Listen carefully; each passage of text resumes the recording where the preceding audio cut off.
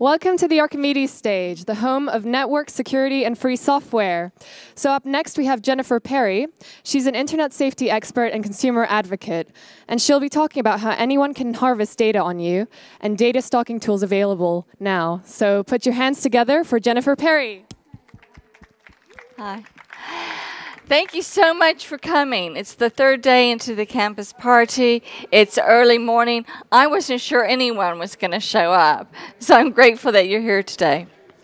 I say, I deal with digital stalking. I deal with how abusers use technology against victims. That's why I want to talk to you today, particularly about surveillance and the surveillance technology that's available for anybody. It's cheap, it's cheerful, and it's easy to access. There's been a lot of controversy about spying, and people are often quite concerned about the government. Who's spying on you? Personally, I'm not very worried about the government because A, I'm fairly boring, and B, I pay my taxes. But more importantly, I've seen enough government technology projects that go way over budget and are delayed so long by the time they come to the market, they're out of date. So I'm not particularly worried about government. But who else spies on you? Technology companies. The Facebooks, the Googles, the advertising networks. Am I worried about them spying on me? Absolutely. They know more about me than any member of my family possibly knows about me. But I think that's kind of another talk, a very long talk for another day. The thing about the government and technology companies, at least I understand their motivations for spying on me what they want, what they hope to gain. Now, being targeted by another problem is what I'm most worried about, and what I think most people should be worried about, and that is people. People targeting you, people that you don't know. Today, when you meet someone, you know, people you've met in, at, uh, at this event, I'm sure you're looking up who they are, looking up at social networks, doing research on them, just to see who they are. Nothing sinister, and we all do it nowadays. Acquaintances offline, acquaintances online. Somebody makes a comment, and you think, well, who are they? You have a look. If you're not checking out your prospective girlfriends and boyfriends, you should because everybody else is doing that university, employers, business partners, they're, all going to look to see what's available about you online. And I'm not really worried about that level because they're not going very deep. They're having a cursory view to get an overview of who you are.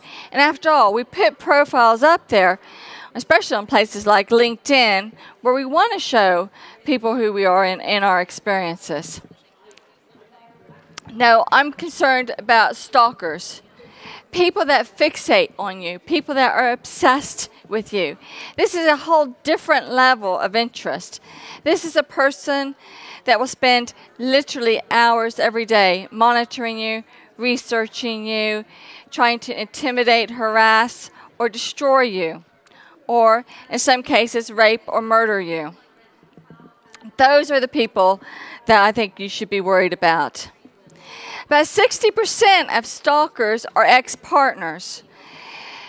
Um, and it doesn't take very long. Clare Bernal was um, murdered by a boyfriend. That relationship lasted only three weeks. Within three weeks, she realized there was something not right with this guy. She ended it. And he started harassing her. She told him to stop, and his response was to go get firearm training and a gun and murder her inside Harvey Nicks. That was a three week relationship. It doesn't take long for obsessive types to latch on to their targets. 20% is work related, your colleagues spying on you. Um, or people that you work with, customers and clients. And there's certain occupations that make you at a higher risk. If you're a lawyer, if you're a police officer, if you work within the medical community, you're at a much higher risk of being stalked by the people that you work with. And one sad statistic is about 5% are family members that stalk you.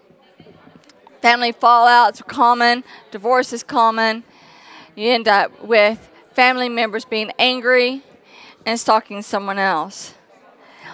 And then there's a section of stalkers that I think the technical term I'll call it is the nutters. The complete strangers that will start stalking. I had a male client who was a daily commuter on a train. He sat down somewhere, decided he was going to change seats, and the person who was sitting beside him decided that he was changing seats because of him, and he got offended. And he started stalking someone. Okay. If that's the simple trigger, and we see triggers on social networks all the time, people that will say something and offend someone, and they start this digital abuse and this digital attack, then you have to think, well, how can I prevent that? And the answer is, when you're dealing with delusional and nutter people, you can't, but you need to be aware. Some other examples. Um, people often think that a, a real life stalker is worse than a cyber stalker. Not true, because when you're cyber stalked, everybody is your stalker. If you don't know who your stalker is, you suspect everybody. You suspect your friends, you suspect your family, you suspect your colleagues, and you suspect every stranger that you meet. We had a victim who was being stalked. Her stalker knew where she worked, how she got there, her pattern, and repeatedly threatened to push her in front of a train. So every day she goes down onto the tube, not knowing who her stalker is, and wondering is it the person behind her, next to her. She became so frightened that she had to leave her job. She could no longer take public transport to get to work. Male victims of stalking are different than female victims.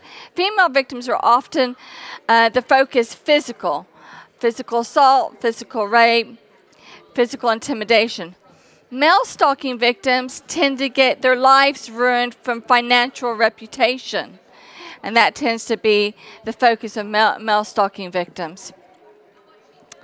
So we had this is a common practice, a very common practice. A revenge stalker. Person gets mad at a, a male, he's a consultant, and that person goes around to each of his clients and says, You will stop using him, or I will ruin your reputation online. I will make sure you feel unsafe.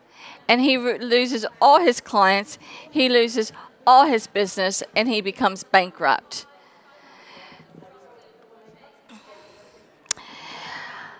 one of the things that we, we have with when I'm working with the police is the police thinks, well, if it's happening online, it's not really a physical threat.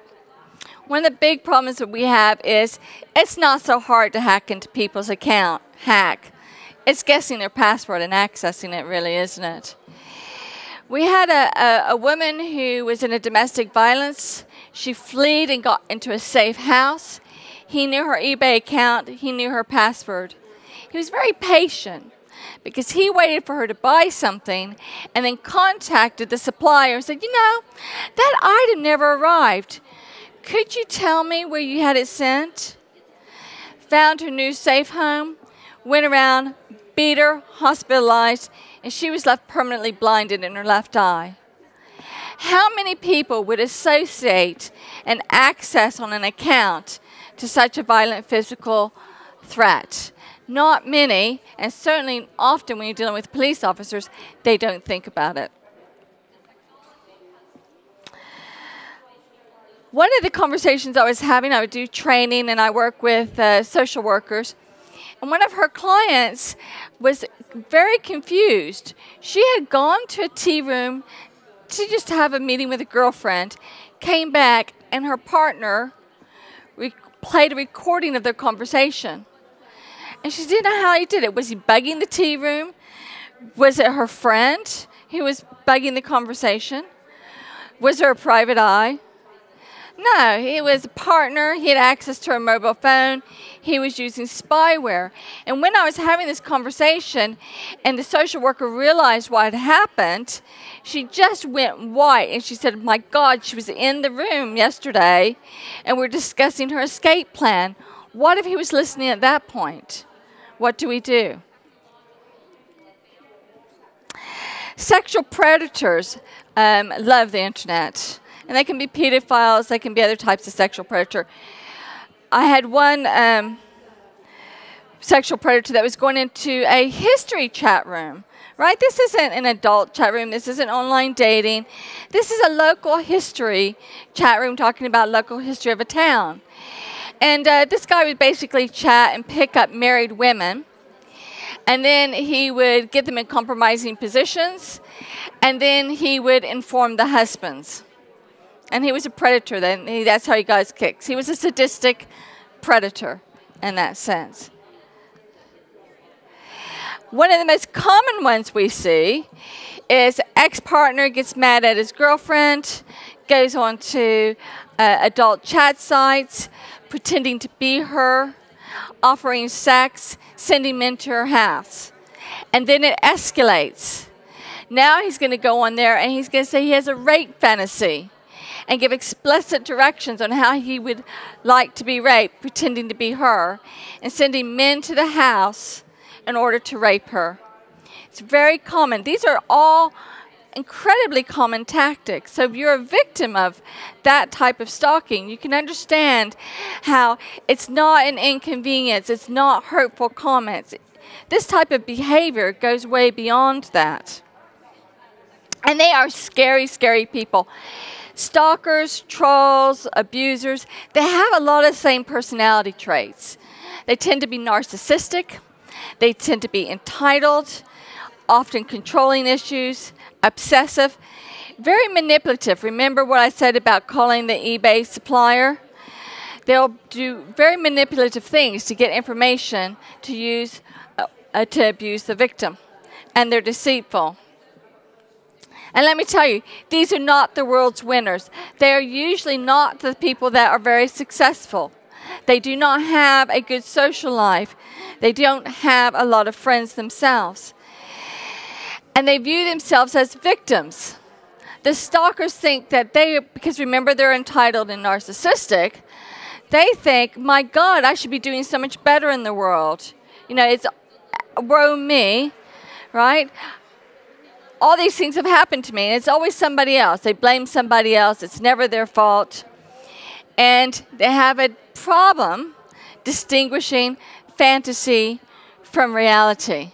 You know the type of person that kind of believes their own lies, believes their own puff? We all know them. That type of fantasy, that type of delusion, is something that we constantly see in stalkers.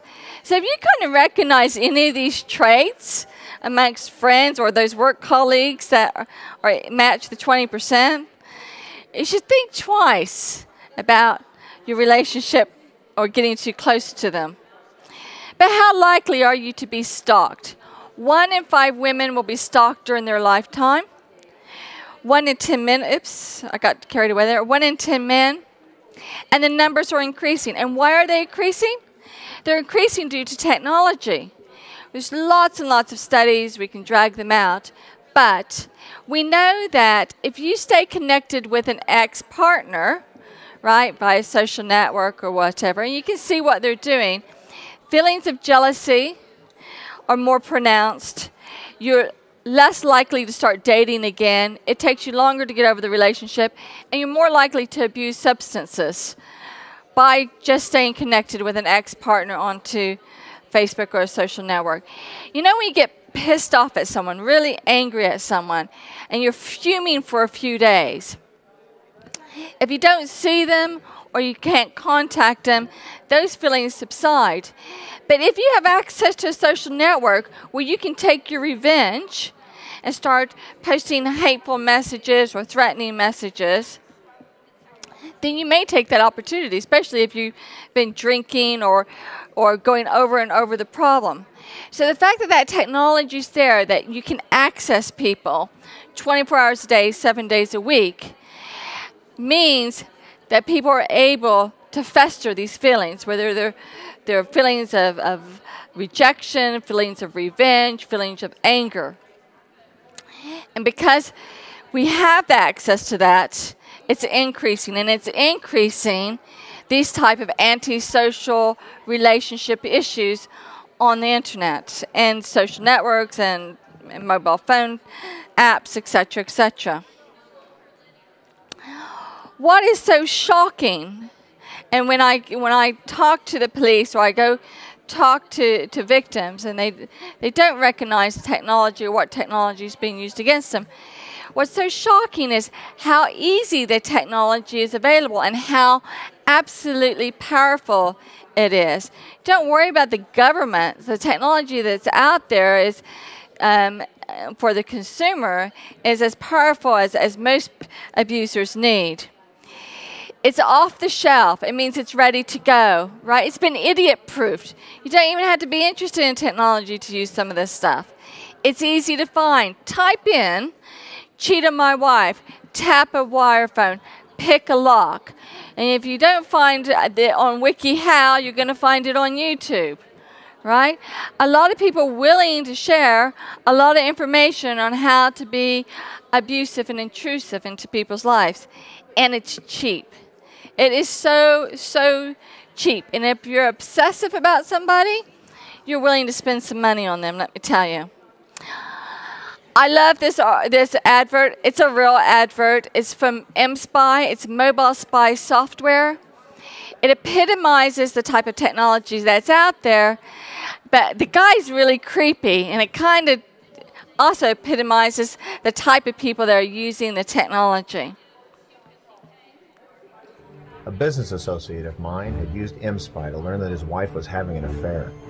By using mSpy, he was able to catch her red handed, which saved him thousands of dollars in legal fees and court costs. As a business owner, I work a lot of late nights, and there are times when I'm traveling for weeks on business.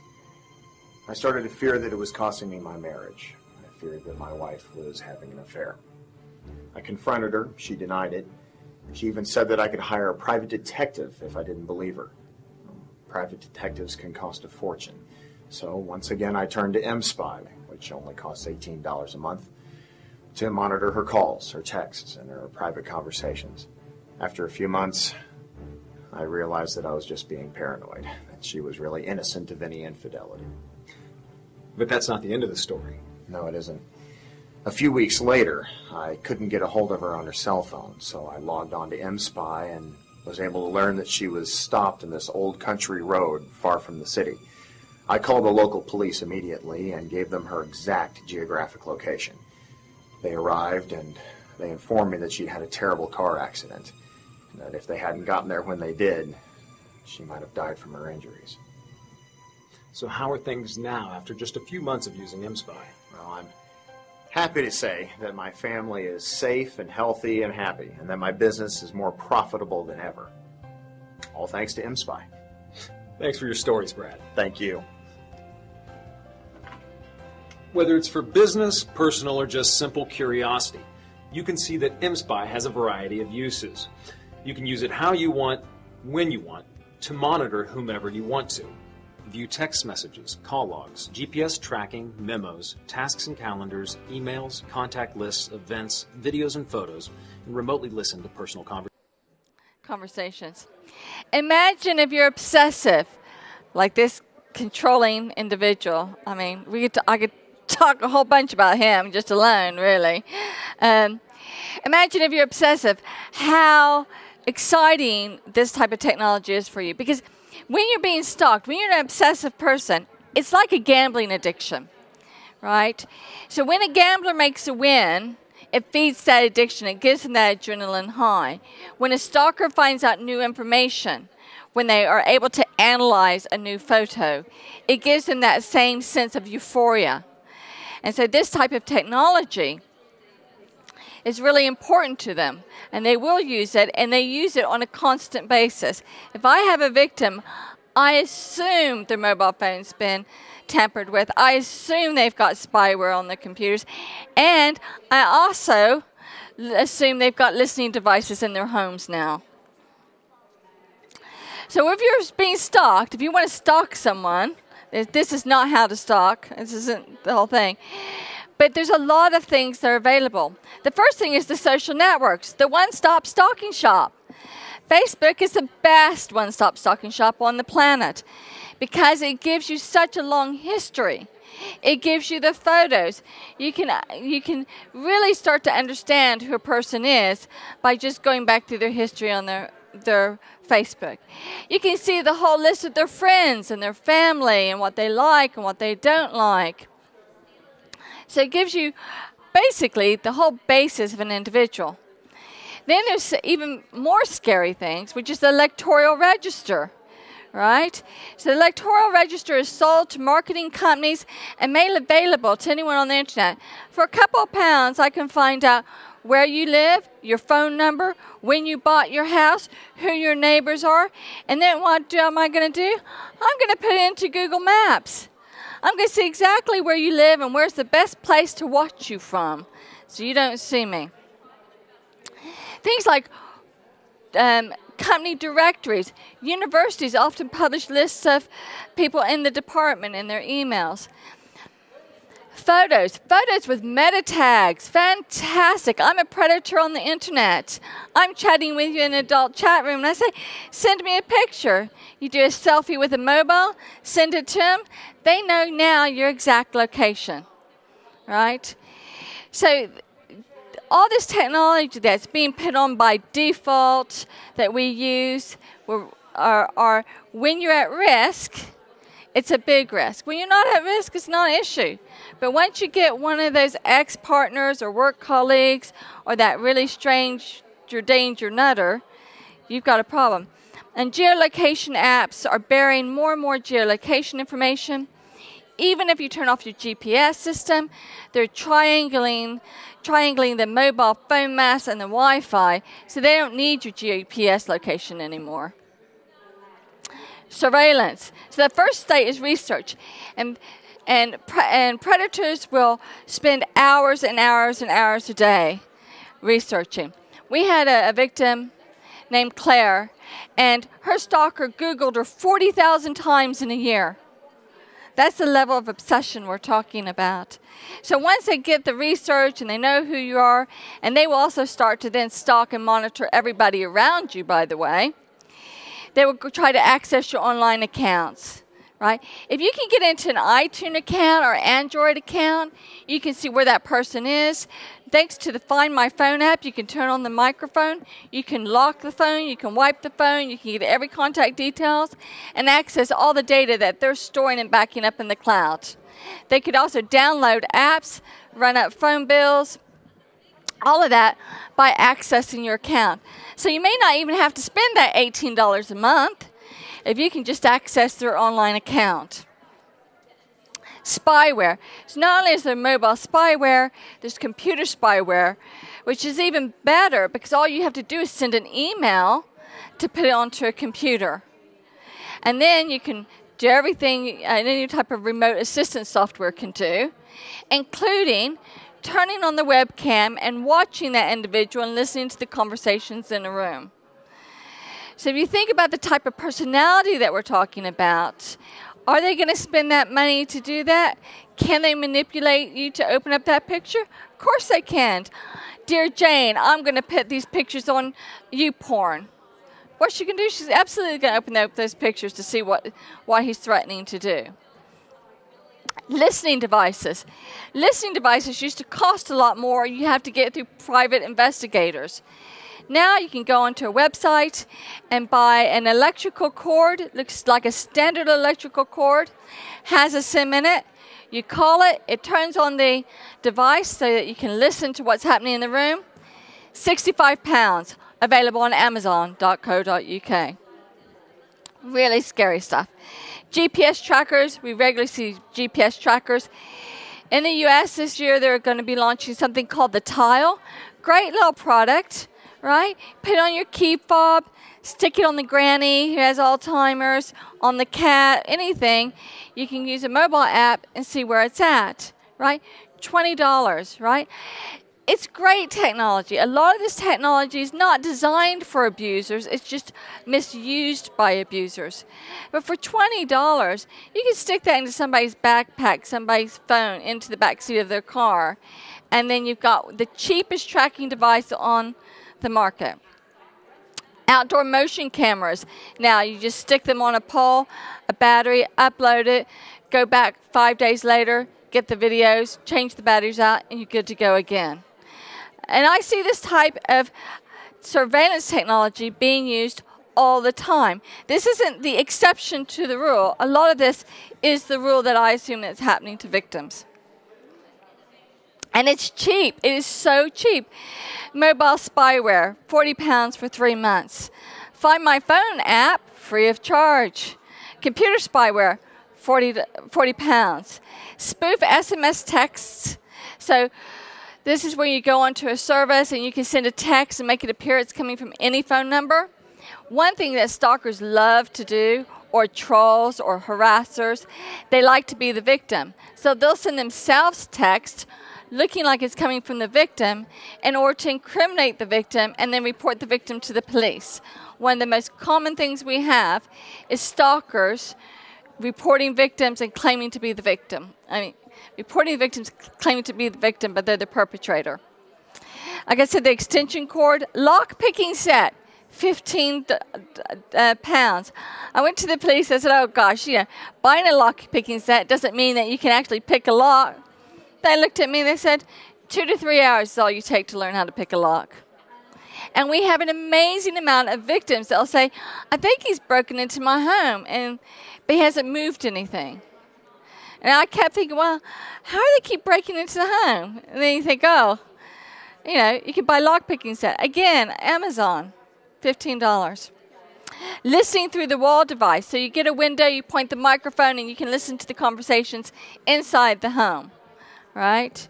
So not only good for stalkers, but you know, corporate espionage would be up there as well. And I said it's outdoor video. All this stuff, less than 200 pounds. So what's coming next? All this, all technology, as it becomes available in the corporate, tends to get um, consumerized.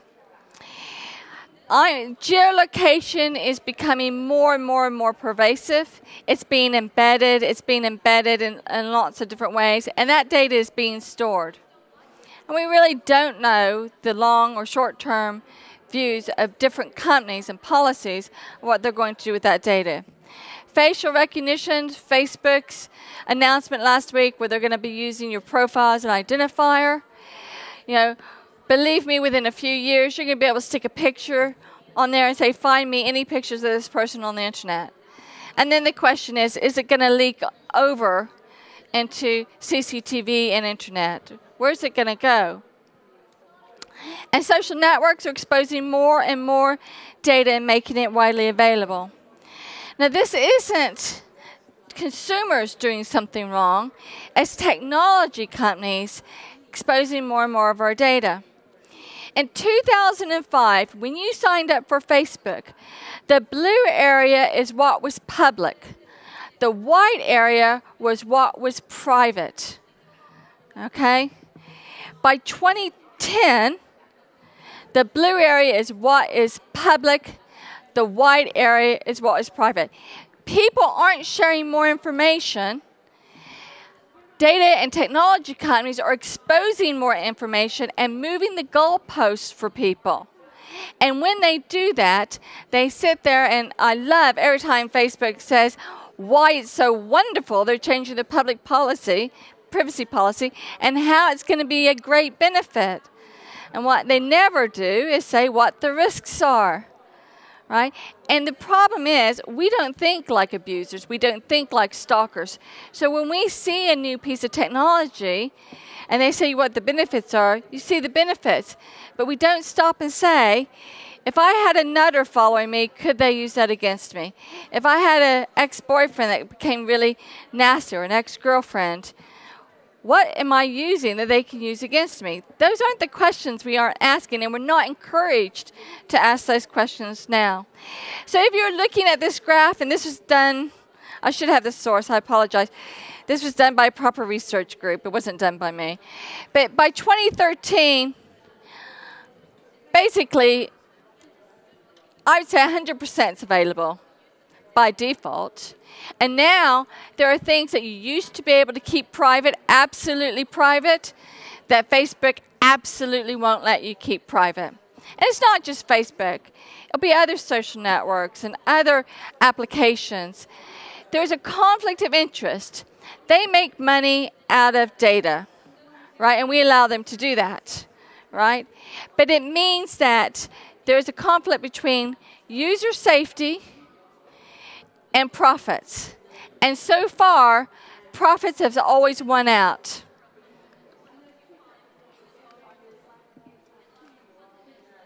The Facebook graph is the other big up and coming thing that they did that really frightened the crap out of me, to be honest.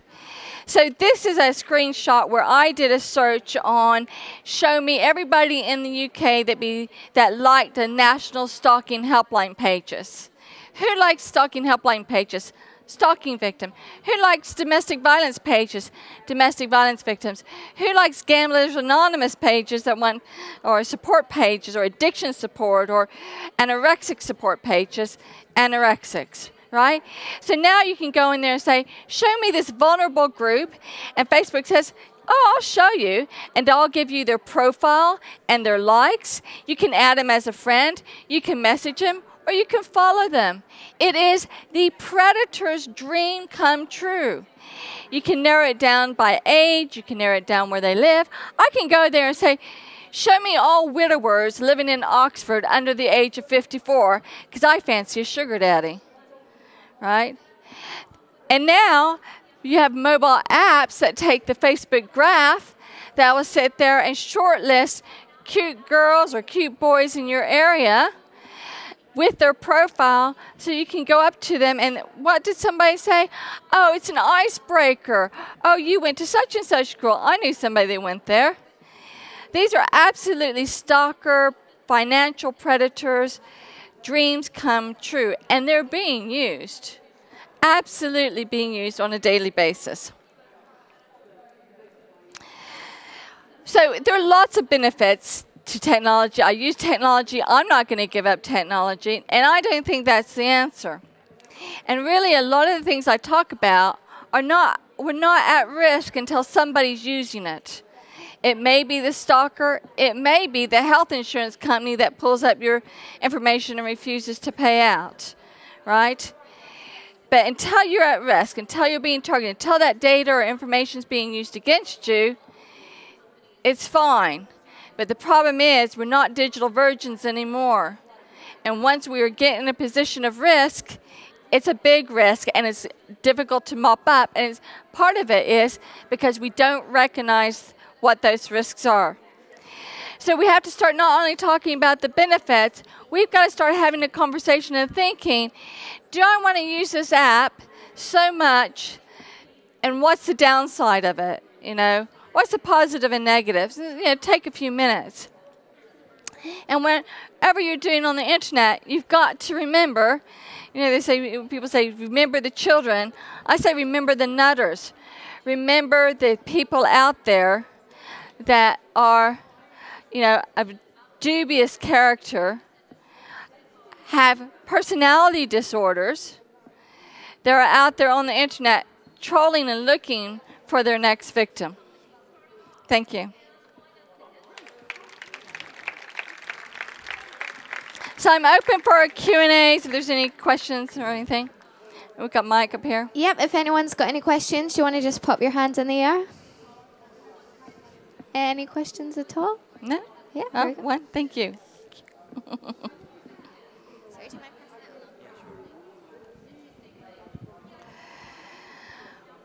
Okay. Um, first of all, I'd like to say that it's incredibly easy to report uh, cybercrime in the UK.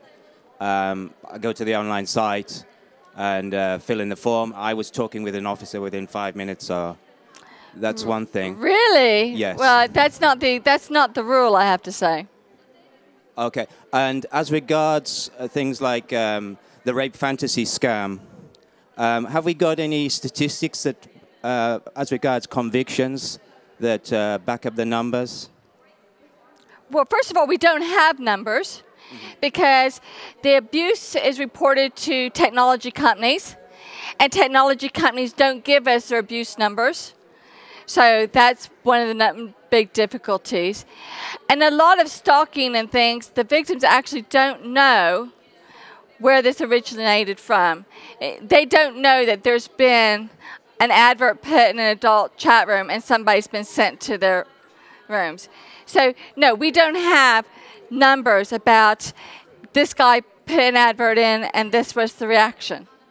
Okay, because the next question I was going to say is obviously the I was going to ask you what resources the police should direct, and they need kind of statistics because there are real women getting attacked in real situations. Mm. So every time you divert resources from one thing, um, Well, we, we have certain statistics. We know that two and a half, 2.5 women are murdered every week in the UK, and the majority of those would have stalking. We have statistics about honor-based violence, honor-based crimes. Most of those will have been stalked. Pedophiles are a stalker. That's a stalker group. We have statistics about pedophiles. We also have the National Crime Survey. It says 120,000 people are stalked each year. So we have the numbers. The Um, the problem is that numbers are sometimes bandied around. Like when you said the rape fantasy thing, uh, scam is very common. That's the kind of thing the media would pick up uh, and overemphasize sometimes. the media's going to overemphasize anything that's a hot topic, whether there's statistics there or there or not. Let's be honest. You know, I'm telling you common tactics that we see that are reported to us when we're dealing with women in domestic violence in hostel shelters and refuges, and, and we don't keep those statistics. And the difficulty is most of those statistics are lying within the technology abuse teams, and we don't have access to those. Yeah, and the, the, but the main thing is never just sit back and not report something. No, and, but, but reporting is very difficult. Um, we're still getting less than 0.01% convictions on stalking in the UK, even with the new, you know, um, legislation. There's been a six-month review. Um, and especially when it comes to digital stalking, because it's very difficult to get the evidence through third parties, especially Twitters and Facebook, which are based in the, in, in the US. So um, most of my advice to victims is yes, report it. But if you've got an obsessive compulsive personality, getting the police to do a restraining order isn't going to help you. Right? It is much more about what victims need to do to secure themselves personally and online. You're more, uh, you will have more of an effect on an obsessive personality than a police officer will. And, and do we need any new laws? Like in the UK, it's already illegal to carry a lockpicking kit, kit on you. I don't think we need any new laws. The problem is, isn't the laws, it's the enforcement Okay. and, and justice system. Hmm?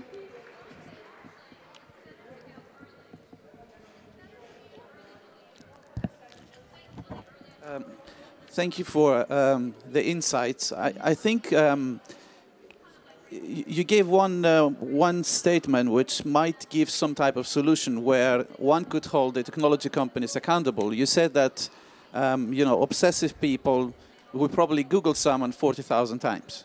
So so there are ways potentially with technology to, to based on the insights that you gather because you work with victims to actually take those patterns and use the technology against the um, the predators right the question is though which, which i'm asking i- um, do you see that the technology companies have have this uh, ha- have the incentives to do that because you also said it's actually always profit versus safety is. yeah Uh, technology companies don't like dealing with abuse because abuse is a cost center that's not generating revenue. Um, and we know they could do a lot more. They always claim ignorance. But we know, for example, if you're on Twitter and you get a phishing, uh, you get a, a spam attack, they're on that very quickly. That's like technology identifying spammers and malware and viruses. They can use that same technology to identify predators and serial abusers and trollers right? So the technology's there. It's it's the willingness, and also they're afraid that once they start doing um, some more preventative stuff, they get people waiting in on freedom of speech. I, I, I have freedom of speech to be able to troll and harass you is a common issue. Um, and also, if they prove that they can deal with some areas of abuse, there'll be more pressure on them to deal with other areas of abuse, and that costs them money, and they don't want to do that.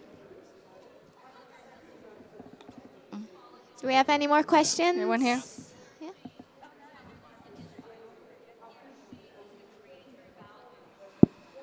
Hi. Um, Hi.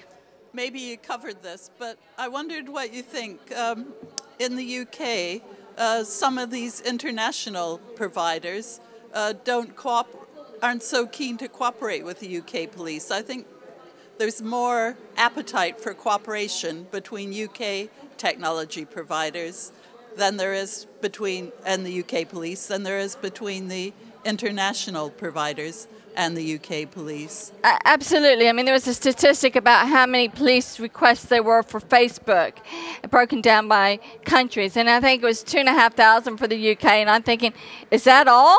Really? Only two and a half thousand requests for information? And Facebook doesn't always comply. It depends on whether they think it's a crime that they're willing to support. Um, like grooming, they'll support, but harassment, they often don't give the information. I had a conversation with the Home Office um, recently, and they want to bring in new legislation so that they can retain, and there's a difference between retain and access. They want to retain people's logs on where they go clicking through on the internet, just like Google does for you, just like Facebook does, just like every other website does. They wanted to retain that information, and then based on the judicial system and warrants, they can access it. One of the main reasons to do that is because they're losing so many cases against trying to bring perpetrators to justice due to lack of cooperation from uh, these websites are either based in the US or based in Latvia or Brazil or whatever. They can't get the data to, to either further investigations or to bring prosecutions. So they're looking at ways of how can we get data within the UK, and that is through the ISPs retaining more data and then requesting that through the judicial system during an investigation.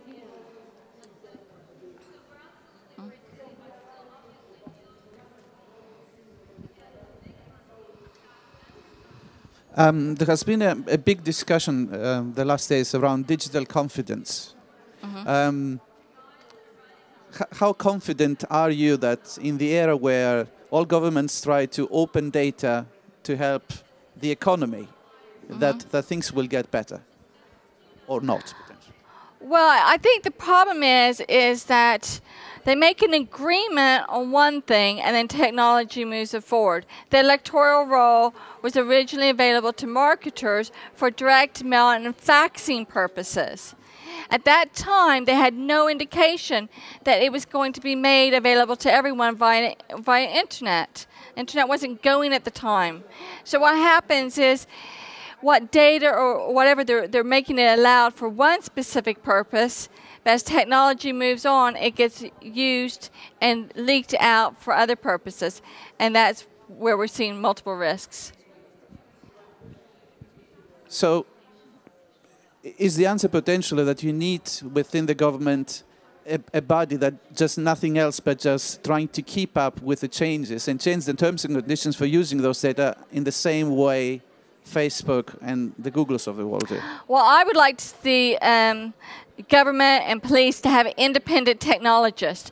I've been in a meeting where we were discussing privacy settings and security settings, and a social network misrepresented what the users could do.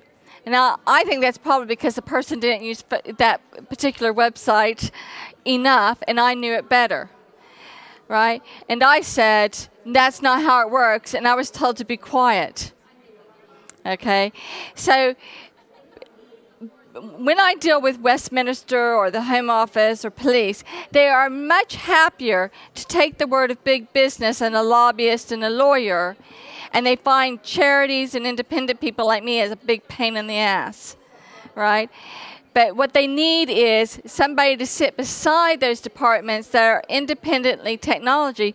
They can verify what these technology and lobbyists are telling them. But right now, they just believe them. You know, and we're too trusting. We're too trusting at government level. So they need to have an independent, you know, not charity based, not any, they need an independent technologies to help them identify what is true and or to be able to test what they're being told. And that's currently not happening. Any more questions then before we finish up? No. Thank you, Jennifer, for your insightful talk. A round of applause for Jennifer Perry.